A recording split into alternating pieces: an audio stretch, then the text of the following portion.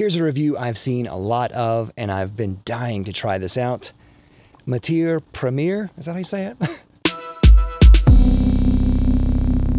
Hey Fragrance family, I'm David. I'm a fragrance bro, of course, your best source for everything fragrance related. Today I have a review of this right here, this line, and I'm guessing this is Matiere Premiere just because it looks like it rhymes. I'm guessing that's how you pronounce it. It's funnier when I don't look. This is a line that I've seen a lot of rumblings on online, and it's new to me. They recently sent me this set, this sample set of several from their line, so we're gonna go over this entire set. And this is a really nice set. I think this is really cool. Of course, if you like this type of content, feel free to subscribe down below. I think you'll love it here. With that out of the way, let's go ahead and get to the reviews.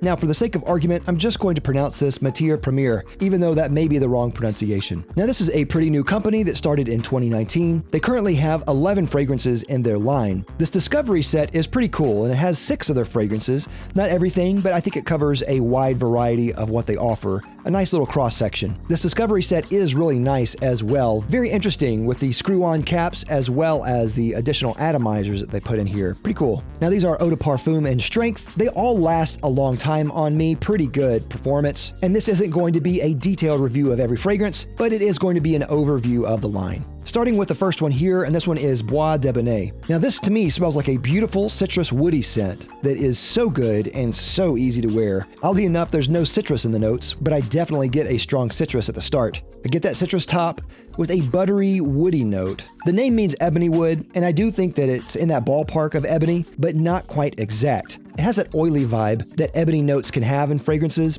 and I think that's pretty cool, and it is definitely interesting in this fragrance. The initial idea was a dark ambery wood, and I think it's a pretty good representation of that. Additional notes are guaiac, patchouli, juniper, and cypriol. This is pretty strong on me, actually really strong. And I think it's really good as well. I think this is really wearable and really likable. The blend is kind of tight feeling where you can't really pick out any notes, but I think that's okay. Overall, I like this one a lot. Next is Cologne Cedrat. Now, this is a very good classical hard citrus scent, I would say. Very rindy and acidic, juicy and sour, especially at the start. The initial idea was a citrus that lasts, and it's definitely a citrus, and it does last, but it's not as beastly as maybe the idea might insinuate. Notes in this are black pepper, pink pepper, bergamot, and mate, and as it dries, the rindiness kind of softens into maybe more of a softer floral type of citrus scent, which I also really like. And then a nice tea facet accord comes out, which I think is really beautiful. It's a really good citrus, but it's not really unique, I would say. There are other citrus notes that smell similar, and maybe this is stronger, but it's not any different in scent overall. Still very good though, and I would wear this any day of the year. Next is Santal Austral. Now, this is obviously a sandalwood scent, and I think this is okay. It's not the best sandalwood scent I've tried, but I do like it, and I like that it's somewhat simpler and not as dense as many other sandalwood scents I've tried in the past. The initial idea was a sensual white wood. Insert penis joke here.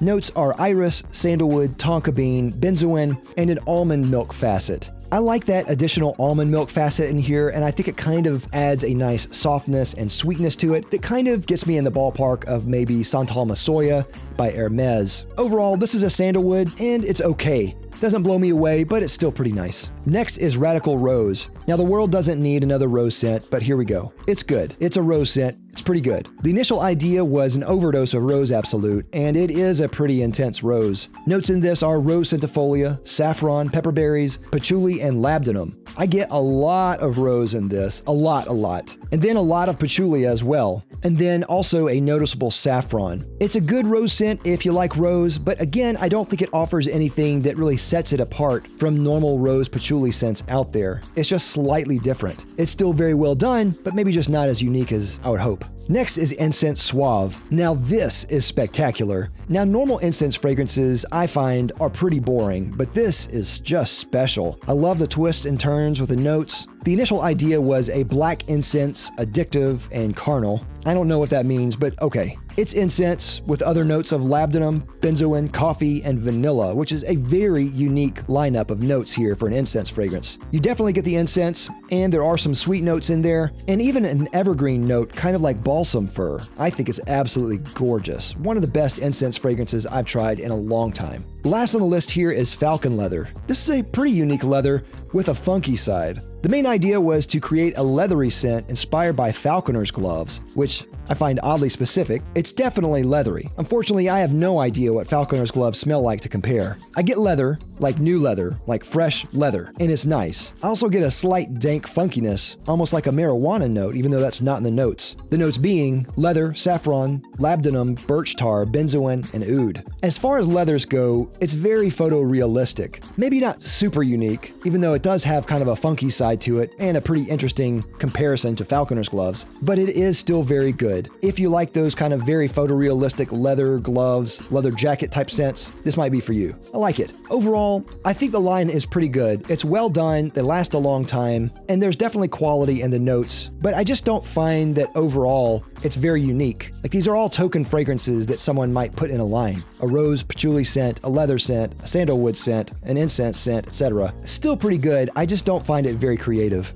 But here are my top three. First is Incense Suave. I think this is amazing. As far as incense fragrances go, this is incredible. Next is Bois d'Ebene, which I think is a very wearable, woody scent. Really great, and creamy, very nice. And last is Cologne Cedrat. I love citrus scents in general. This one is not unique in any way, but I would wear this any day of the week. Overall, it's still worth trying though, so definitely check them out. With that, I'd like to thank my sponsor, Fragrance X. Fragrance X is an online reseller that sells thousands of legitimate products for a discounted cost. If you're considering buying a fragrance, definitely check out Fragrance X. I'll have a link down below to them as well as a coupon. But also check out Rakuten.com. Rakuten.com is a website that offers you a rebate with every purchase that you make through their website. They actually have a deal with Fragrance X that offers you a certain percentage in rebates just by buying through Rakuten. So I'll have a link down below to them as well. Definitely check out Fragrance X and Rakuten together.